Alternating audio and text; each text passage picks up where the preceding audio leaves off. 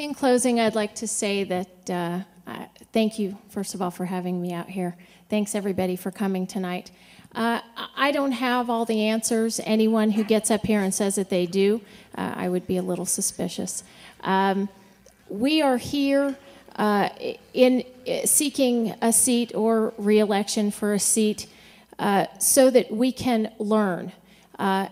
We are here at the behest of the governed, folks. We are here to serve you. That is something that should never be forgotten, and sometimes, actually, a lot of times, it is forgotten. And uh, government's role is to get out of the way of the movers and shakers out there so that you all can come up with the answers for us and that you can run this city. We are here to govern you and to see that it runs well, but really, you are here to run the city and to come up with the best answers. Thank you very much. I hope I have your support.